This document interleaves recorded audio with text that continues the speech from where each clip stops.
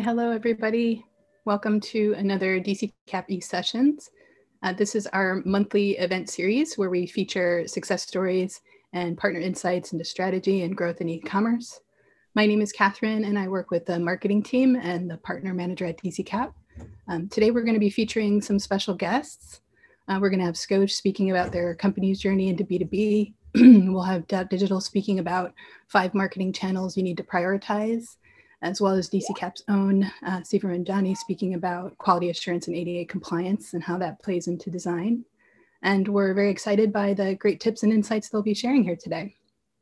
Along with that digital, DCKAP is privileged to be a partner with Scosche on their digital journey. And you can also watch more of our e-sessions on our DCKAP events page. Um, and also please subscribe to our YouTube channel. We're always up uploading videos like this to our channel. And of course, we'd like to thank our sponsors, uh, Scosche and Doc Digital in particular for sponsoring the event with us. Um, and partners like them certainly help make it possible to host these educational sessions each month. And you can find out more about them at scosche.com and digital.com, as well as us at dckap.com. All right, well, without further ado, I'm gonna go ahead and start by bringing up our first presenter, uh, Michael from Scosche. Michael has over 25 years of experience in high tech, and he is responsible for information technology and digital strategy at Scosche. He oversees business applications, hardware infrastructure, data, and security. He holds a master's degree in computer management from University of Pune. He is the architect of both B2B and B2C e-commerce implementations at Scosche. And welcome, Michael. Thank you for joining us. Please take it away whenever you're ready. So good morning, everyone. Um, thanks for joining the, the e-session today. I'm going to talk about our B2B experience um, that we, uh, you know, the, the, B2B portal that we launched uh, six months ago. So before that, I just wanted to talk about um, uh, Scosche. Um, Scosche has been in the industry for almost 41 years. Um, we launched uh, um, the company in 1980. Um, um, we've been we've been uh, we've been working with um, um, pretty much most of the retailers in the industry. We have 200 employees. Um, we work with almost 4,000 4, SKUs. Uh, we have five office locations in the US. Our headquarters is in California, Oxnard, California. We've got numerous awards um, uh, and also hold more than like 400 patents and trademarks. Um, we our products are sold in like almost 50 plus countries. We are the number one mount brand in the US, USA and Canada, and the number one brand, mobile accessories brand in, in Canada. Back in back in 19, um, uh, so 2019, uh, when we went to a conference, we met a lot of our customers from a small customer group. So they mentioned that you know, like they could do more business with us if we had an online portal. And at that point, we were getting all the PPOs, the purchase orders through emails and phone calls. Um, so somebody has to manually enter that into the ERP system uh, for the, the fulfillment uh, part. So at, at, at, that time, we were actually migrating from our um, M1 to Magento 2. Our e-commerce platform, B2C platform was running on uh, Magento platform M1 at that point. So we were just actually migrating the platform to M2. Um, so right after we launched uh, M2, uh, our strategy was to move to uh, dealer portal, like so implement dealer portal for that particular uh, customer group. Um, so we um, well, we launched the site in um, September 2020 last year, six months ago, um, and that's again part of our digital strategy to move a lot of our customers to the portal, um, especially when we are dealing with the major retailers. Uh, their POs are coming through EDI and they didn't have to have a a B2B portal. But rest of the customer base, we wanted to have a portal where they can log in and then buy, uh, buy products from us. So we spent a lot of time talking with our customers um, and wanted to learn from them. And uh, so before we finalizing the features, and also the user experience, we wanted to spend time with customers and understand their needs. Um, so one of the things that they wanted to have was the search uh, functionality. say they wanted to have a, a powerful search to find the products quickly. Um, and also, um, um, you know, we wanted to we wanted to make sure like you know the product um, products are up to date on the catalog. So we we uh, in the last 18 months we launched about like 270 products. Um, so we wanted to make sure like um, the products offering product offerings are up to date on the product catalog. Um, also, they wanted to see the inventory availability. Like, you know, we ship from two different sites. So they wanted to see whether the products are available from the closest location that they are, uh, they're, uh, they're in. Um, shipment tracking was another important component for them. So they wanted to see the estimated uh, delivery and then text notification. So even though this is a B2B site, they, they wanted to have the kind of a B2B, B2C experience uh, to some aspect, you know, like when, when they deal with the website. Especially they don't, they don't want to, they are much familiar with the products. They don't have enough uh, time to navigate the site. Um, they wanted to be quick and uh, be done with the, with the purchasing. Um, so we have to balance between the B2C and B2B side kind of experience. Um, but text notification and estimated delivery are critical for them. Chatting with customer support is another component they wanted to have, wanted to have that on the site. So their questions will be answered right away. Um, the one other aspect they wanted to have on the site was without talking to a salesperson, they, they would like to see the volume discount if, um, um, if uh, if uh, the order amount was larger, larger. So we we provide like a certain percentage of discount if they meet a threshold. So so that's actually built into the, the process. So they don't have to talk to anyone. Um, faster checkout. So they wanted to have um, um, a faster checkout with the site. So we added a quick order widget on the site.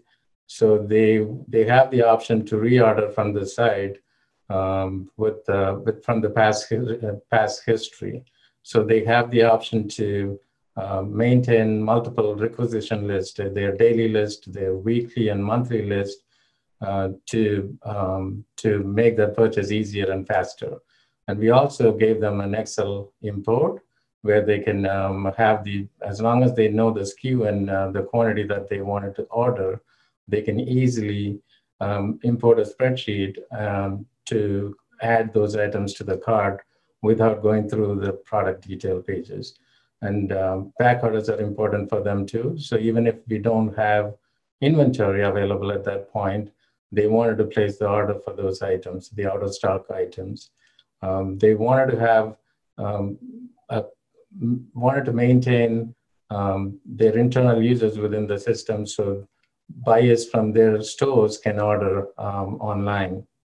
So multiple buyer option was another component that uh, we enabled. That's part of the native um, M2. So we just um, implemented that module, that component. Um, we also did a product finder for them. So as long as they know the year, year, make, and model for the car for their cars, they could um, um, find the right, uh, you know, dash kits or adapters or speaker sizes for their cars. So so these are some of the things uh, that uh, we enabled uh, when we launched the site. So, so one in three customers are now using the portal. So we are seeing a, a, a high volume of volume of orders coming in in the last two three months um, since the launch. And so from the small that customer group, um, almost uh, one third of customers are actually buying from us. Um, uh, two, we are seeing 2x uh, sales increase in the last six months. 20% um, of the actual um, the sales is actually going through this portal now. Um, so I was actually checking the numbers yesterday. Um, last month was our best month since launched the portal, and 87% of the current month sales is actually achieved um, in in the last in, in the last 12 days. Um, so we wanted to put the power. So how you know, like we wanted to put the power back to power back to the sales team. You know, when when it comes to managing the business, we wanted to you know we wanted to make sure the the sales team is fully equipped with all the tools that they need needed to have, all the training that they needed to have to manage their business. Um, so a part of the part of the tools we implemented Magento BI. So we designed a dashboard, um, the uh, B2B dashboard, where they can see the the, the latest data as of last night um, uh, and see who is buying, what kind of products the customers are buying, how often they are buying. So that's part of the part of the you know strategy and um, you know the, the, users from the sales team that the whole users from the sales team is actually leveraging that tool. So we wanted to we want we, we are running two different promotions on the site. Um, we trained our internal users um, to manage the promotion, change content, change percentages, um, the discount percentages, by themselves without even talking to somebody in IT or any, um, any other department. Um, so we do have a digital asset management system in place um, with almost 50,000 digital assets, where, you know, like ranging from uh, product shots, lifestyle shots, um, and then videos and whatnot. Um, so they do have that uh, tool available in front of them, so they can change home banner, homepage banners and site content on the fly, uh, working with marketing or marketing teams so they could do all these things without uh, IT's help. So we gave them option to change catalog, add products, add, remove feature products. We also built a resource center uh, with video guides so they can watch videos. If you are, you have a new user, a new buyer in your um, uh, uh, store, you could pretty much see the resource center, watch the video guides. These are like one, two minute videos that they can watch, um, uh, you know, to do that uh, job, that, that, that function. Um, some of the other benefits that we are seeing with the site, um, like I said in the beginning, um, we were getting all the POs through emails and, and phone calls. Uh, sometimes these orders are like almost um, uh, anywhere from 20 lines to 100 plus lines. So somebody has to manually enter these orders within uh, the ERP system. That takes a lot of time to do. And they also have to send a thank you note to the customer. If they have an out of stock, stock situation, they have to mention that to the customers, email that to the customer. And once the shipment is done, um, we also have to send shipment notification to the customers. Um, but what we are seeing, these processes, uh, everything that we have just talked about was automated, um, and the process becomes more efficient now with the B2B portal. So we built a, a integration with our backend ERP system. So uh, you know, with, the, with with that ERP integration, the, there is less um, um, manual efforts, uh, which um, avoids like you know a lot of uh, manual errors that we used to see before. Um, looking at the data that uh, that uh, the, the order details that are coming in, uh, what we are seeing is like you know the customers are like buying on weekends at their convenience and even after hours. Like so, they have this 24 24 7 purchasing um, that they they, they they they they have. Um, we do have um, um real-time information coming from the ERP system. So when it comes to pricing or inventory, they do see the real-time information there. So it's kind of a self-service and self-management. They can create their own, um, um, you know, like a requisition list. They can maintain their own company structure. So it's kind of a personalized um, uh, customer experience that we are providing. So speaking with um, uh, so here is a diagram that I just want a high level uh, diagram that I just wanted to show how the uh, how the data is actually flowing in between these two different systems. Uh, so we have orders coming in from um, Magento e-commerce and going to the ERP system on a frequent basis, like every 30 minutes. And then we do have inventory feed coming back uh, to e-commerce on a regular basis, uh, multiple times every day. Um, and then we, once the shipment is done at the end of the day, um, we send the shipment details back to e-commerce that will then trigger the shipment notification to the end customers. Um, and the pricing, of course, the pricing information also goes to uh, the e-commerce side from, from ERP. um, speaking with our uh, internal sales team and um, checking with our customer, these, these are the, the feedback that we receive. Uh, they have nothing but positive feedback from our, uh, our customers. Uh, they are pleased with the, with the experience so far. Um, and at this point, I just wanted to take a moment to talk about uh, our engagement with uh, DCKAP. Um, so we are using them for QA and compliance. Um, they, they, they, they're doing an amazing job with the QA process. They're helping with uh, QA procedures, um, identifying bugs and uh, issues with the site. Um, they are then documenting, I mean, good documentation uh, from them, um, and then coordinating with our internal and external dev teams to iron out those issues. Um, so with that um, store that we built, um, right now we are actually building another another B2B site uh, for rest of our customers with a different branding experience.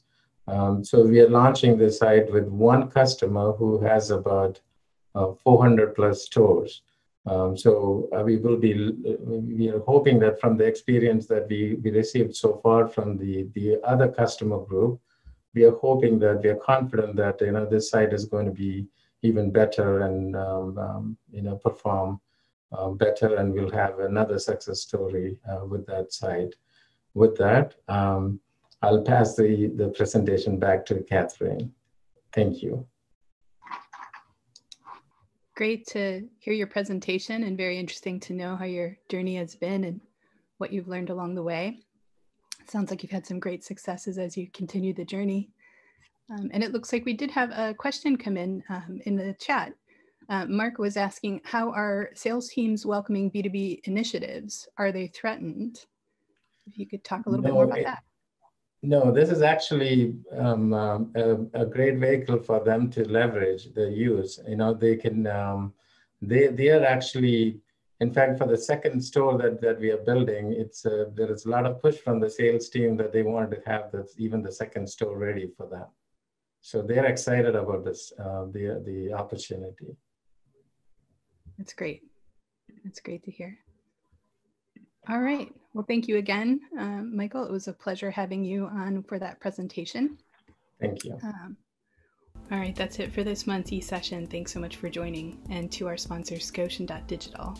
And you can watch more at dckap.com forward slash events. And our next event will be on May 11th, the DCKAP Summit, so be sure to watch out for that. And please subscribe to our YouTube channel where you can watch all our videos. Have a great day, everyone.